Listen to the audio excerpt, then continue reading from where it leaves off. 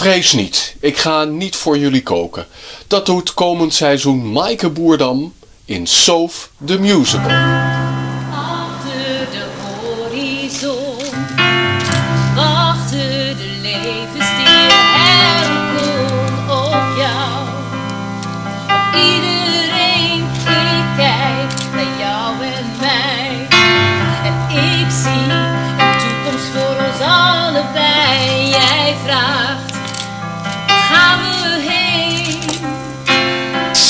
Is een vrouw die eh, een gezin heeft, een man heeft, die eh, alles heel erg eh, probeert op rolletjes te laten lopen en het mislukt de hele tijd. Ik herken daar helemaal niets in, nee, ik herken daar heel veel in.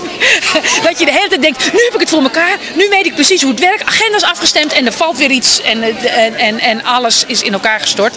Dat is Soof. tot op een bepaald moment merkte van ja, ik, het, het lukt niet meer. En ik ben mezelf aan het verliezen. En, en alles rond mij, alles wat, wat mij lief is, ben ik aan het verliezen. En op het moment dat ze dat echt doorheeft, komt ze terug bij zichzelf. Wat fijn is aan Soof is dat we dat allemaal herkennen, dat gestuntel en dat geklooi. En tegelijkertijd ehm, is Soof ook iemand die daar niet zo mee zit. Die kan bij wijze van spreken met drie ingrediënten dan opeens denken... Tada, hier is de verjaardagstaart. Dat vergroten we, vergroten we uit op het podium. Dus Soof is wat minder correct. En ehm, ja, daar herken ik ook niks in. Nee.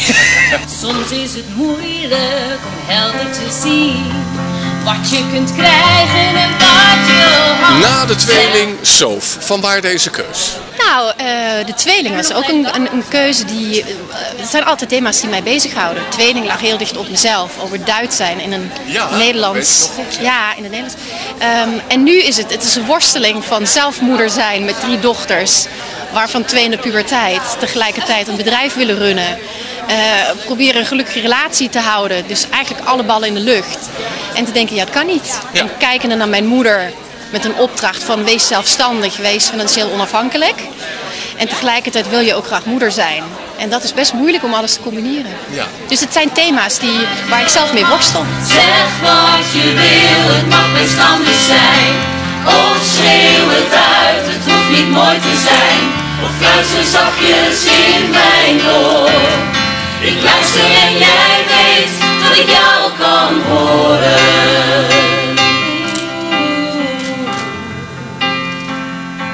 Dat ik jou kan horen.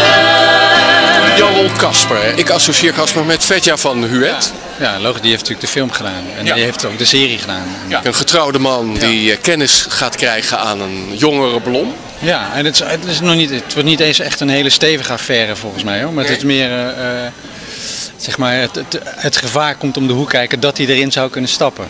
Dat, dat, dat, zit, dat element zit wel in de voorstelling. Ja. Ja.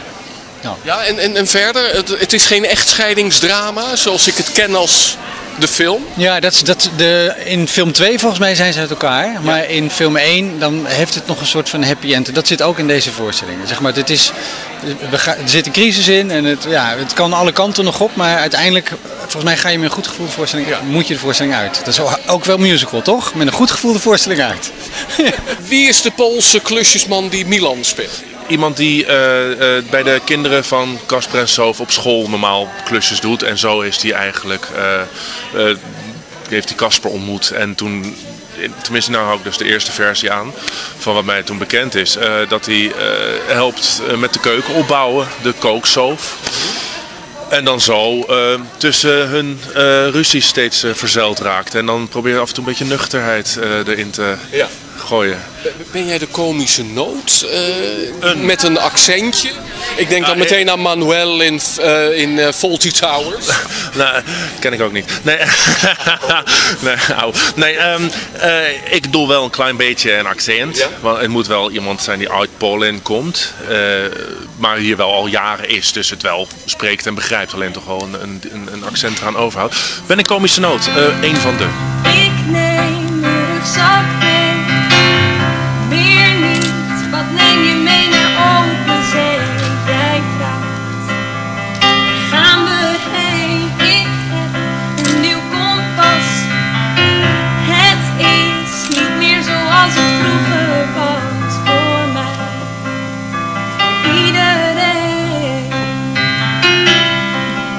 Wat ik zo uniek vond de Amerikaanse manier van opbouwen van deze musical. Workshops. Heel lang. Nou, die, die manier heb ik eigenlijk altijd gekozen. Dus sinds ik, ik was hoofdontwikkeling bij Stage, hebben we dat ook al gedaan. Siske is zo gemaakt. Maar iets, min, Petticoat- iets geruislozer dan. Nee, we hebben, nee, eigenlijk altijd hetzelfde gedaan. Dus je eh, gaat beginnen met het ontwikkelen en dan test je dat in een lezing, dat je het gewoon leest. En op een gegeven moment ga je de workshop in en dan betekent het dat je gewoon heel gestript het verhaal al neerzet. Bij Zoof dacht ik, ik merk bij eh, try-outs dat het publiek heel slim is. Dat betekent zij zien dingen die niet kloppen of die ze niet begrijpen. En uiteindelijk zijn wij toch theatermakers die het fijn vinden als publiek snapt wat wij willen. En dat hoeft niet in alle details. Soms is het ook mooi dat het gewoon verbeeld wordt en dat je denkt, waar gaat het over? Ik weet niet precies, maar het is wel mooi. Maar in essentie wil je natuurlijk wel iets vertellen wat mensen snappen en wat het raakt. Dus bij de try-outs doen we altijd enquêtes en dan vond ik dat daar heel zinvol, slim feedback kwam. Maar de try-outs zitten heel dicht op een première. Dus wat, dat wat je dan mee kan nemen is nog heel beperkt, want Ja. je zit dan al in een vast stramien. En de workshops, omdat we dat altijd al deden, dacht ik, zou het niet leuk zijn om dit keer het publiek erbij te halen. Zodat je die wisselwerking heel goed ziet. En natuurlijk bij SOF zit het publiek ook eh, in het toneelbeeld. Dat betekent, ook dat stukje moet je eigenlijk alvast van tevoren een keer uitproberen. Net zoals die hapjes, dat je live kan koken en ze uit kan delen. Hoe werkt dat eigenlijk? Ja. Dus daardoor is dat ook gegaan. Was jij die methode gewend? Nee, helemaal niet. Het was ontzettend leerzaam. Maar wat ik er moeilijk aan vond was dat het moest niet af. Hè, want dat was absoluut wel de bedoeling. Maar dat kan ik niet. Ik kan niet, niet afspelen. Dat gaat niet. Want hoe doe je dat? Hoe, ja, jij kan ook niet een, een half af interview inleveren. Dat gaat niet. Dus ja, zet een spot op, op, op ons, of in ieder geval op mij. En ik wil ik wil er zijn. Ik wil het gewoon. Ik wil niet denken van, nou, nou ja, mijn tekst, ik weet het niet helemaal. Ik doe maar iets. Nee, want je hebt wel allemaal inpikken en dan moet die inpikken en dan, nou ja. Je wilde gewoon mijn leven is van mij. eh. Een soort van. Ja, poeh.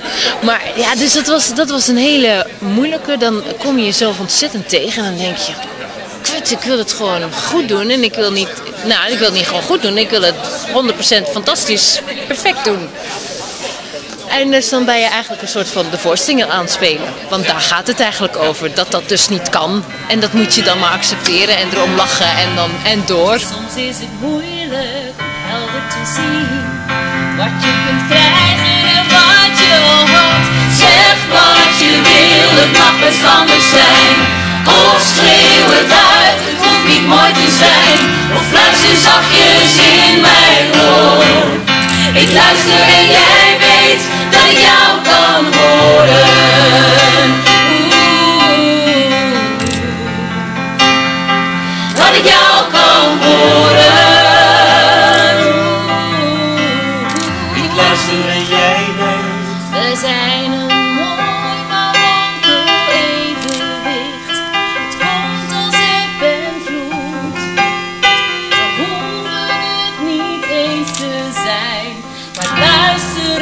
Je doet. En luister dan ook goed. Het is echt niet moeilijk elkaar te verliezen of kwijt te raken wat je had. Was de marathon zo leuk dat je eh, alweer in een musical staat? Nou ja, ik denk dat de marathon ervoor gezorgd heeft dat ik de kans weer kreeg om in de musical te staan. Ja, ja. En ik moet zeggen, de marathon beviel heel goed. Ja. Dus toen dacht ik, ja, en het verschil met de marathon toen is dat ik in een voorstelling stapte die eigenlijk al draaide. En nu mag ik er van het begin van bij zijn. Dus Ja. dan mag ik ook mede createur zijn van de voorstelling. Eh, Had je al wat know-how eh, rond musical? Jawel, zeker. zeker. En eh, ik, ik, ik ga ook wel geregeld naar musicals en, en, en muziektheater. Ik vind het altijd zo, het theater met muziek het is wat mij betreft het is ook heel, is heel breed. Dus je hebt een hele klassieke musical en je hebt natuurlijk hele experimentele voorstelling en alles wat ertussenin zit. je van het musicalvak gaan houden? Dat, dat jaar marathon? Half jaar bedoel ik? Ja, want, het, ja, want eh, ik heb nu een half jaar zangles gehad ook. En, eh, en ik zit nog lang niet op het niveau waar heel veel mensen in deze cast al wel zitten, zeg maar. En dat is omdat ik helemaal niet die lange, dat lange voortraject van zingen en, eh, en, achter me heb. Maar ik ben er wel van gaan, in gaan investeren ook. En ik dacht van ja, dit is hartstikke leuk. En als ik zelf, mezelf nog kan, een beetje kan ontwikkelen als zanger, dat is alleen maar mooi en goed meegenomen. En, dus ik ben er wel van gaan houden, ja. Maar het is Ja. heel gaaf om eh, tekst en muziek om, om dat allebei te gebruiken om een verhaal te vertellen. Ja. Dat is te gek. En eh, dat wij dat nu zelf mochten doen, dat was ook heel spannend.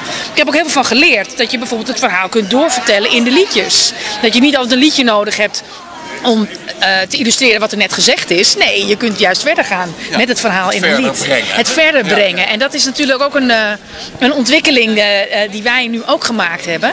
Dat je denkt, oh dat kan allemaal, dat is te gek. Daar kunnen we die nummers weer voor gebruiken. En dat is, ik vond het echt heel leuk om te doen. Zien we nou een ervarener musical acteur straks in, in the Musical?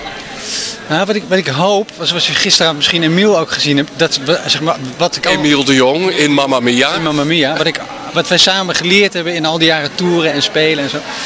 Dat ik, ik wil niet de, de, de, ik heb helemaal niet de ambitie om de, de, de mooie, fantastische musical acteur te worden. Ik wil heel graag een soort eigen, eigen profieltje meebrengen in die, in die musicalwereld. En dat eigen profieltje houdt in?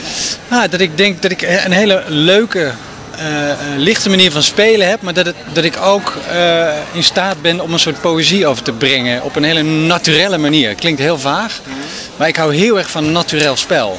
Dat, is- Daar ben ik ook goed in, denk ik. Nou, dankjewel. Ik zie er naar uit. Ja. En tot november. Oké, goed. Dankjewel. Doei. Zeg wat je wil, het mag anders zijn. Of schreeuw het uit, het hoeft niet mooi te zijn. Of luister zachtjes in mijn oor. Luister en jij weet dat jou